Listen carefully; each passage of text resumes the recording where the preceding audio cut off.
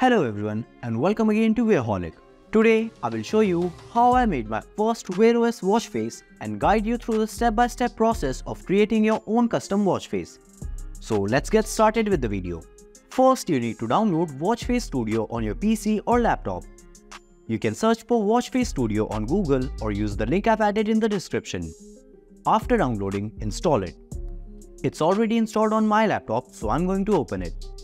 This is the main interface of Watchface Studio. I'll create a new project and name it Wearholic Watchface. I selected the default size. Here, I can make a custom Wear OS watch face by dragging and dropping components. To add a component, click here. I have different components here like text, images, shapes, progress bars, animations, time and complication slots. First, I'm going to add the time, day and date. I'll add a digital clock in the middle and the date and day below it. Now this watch face has a basic components that fulfill the essential needs of a watch. Next, I'm going to add an animation at the bottom. So I choose the animation component and select this bare GIF. I'll adjust it according to the watch screen. Now at the top, I'll add my YouTube channel name, Wearholic. After this, I'll add some complications below it. Now it's done. I have created this watch face according to my preferences. I'm finished, but you can edit according to your own preference and you can also use the always on display and gyro features. Now it's time to test it. I have a Galaxy Watch 5 but you can use any other watch that runs on Wear OS. First, you need to enable developer mode on your watch. Next, open settings on your watch and go to about watch. Open software information and tap on software version 5 times to enable developer mode.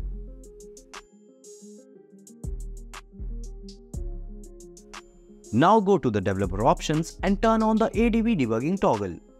Scroll down and tap on wireless debugging. Turn on the toggle and tap on allow. Now you will see the IP address and port number of your Samsung watch. Next, go to the wireless debugging section of your Galaxy Watch and tap on pair new device. Now go to the Watch Face Studio and tap here on run on device. Tap on the plus icon now enter the pairing code and other details from your watch and tap on OK. Wait for some time to connect. If connected, your watch will show the watch face you created. If it doesn't, then try another way to connect it.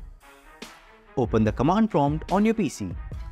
To connect Watch Face Studio with the Galaxy Watch, you will need to install the ADB tool. For this, visit the URL provided in the description to download the ADB tool. Once downloaded, extract the zip file to a folder of your choice. Open the extracted folder and copy the folder's path. Now go to the directory where ADB is installed. In command prompt, type cd followed by the path you just copied and press enter.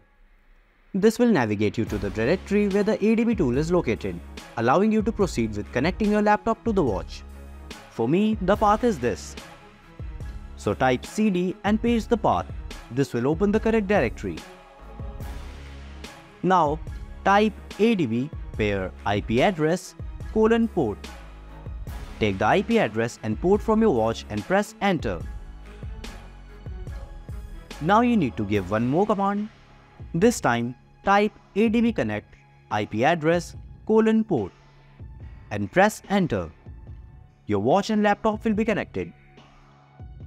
Now go back to the watch face studio and click on run on device and you'll see the created watch face on your watch screen. That's it. That's the complete process of creating your own custom watch face with complications. If you liked the video, please give it a thumbs up and comment if you have any queries. And don't forget to subscribe to Wearholic for more videos like this. See you in the next video. Until then, bye bye.